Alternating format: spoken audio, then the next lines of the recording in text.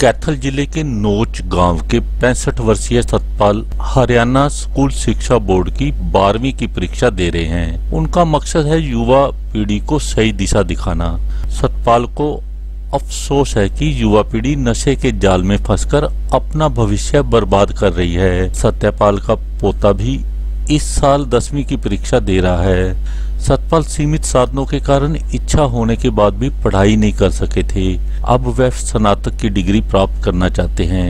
आइए जरा परीक्षा केंद्र के बाहर सतपाल की बात सुनते हैं। बारहवीं कक्षा का रिज़ल्ट पेपर देने आए हैं। आज इसका क्या विशेष है आपका? इसका मेरा विशेष है आने वाली किसी के साथ कंपटीशन तो आप कब से तैयारी कर रहे हैं इस पेपर की? इस पेपर की मैं तीन महीने से।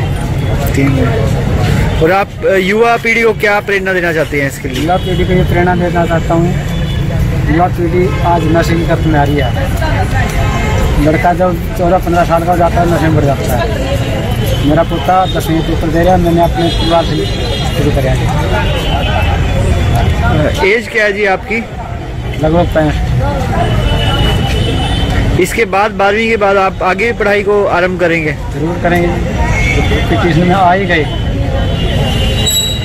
दोस्तों, वीडियो को लाइक और शेयर कर दें। सत्यपाल के उज्जवल भविष्य के लिए दो शब्द भी कमेंट बॉक्स में ज़रूर छोड़ दें। हमारे चैनल को सब्सक्राइब करके बेल आइकॉन को दबा दें ताकि हमारे हर एक नए वीडियो की जानकारी सबसे पहले आपको मिल सके। धन्यवाद।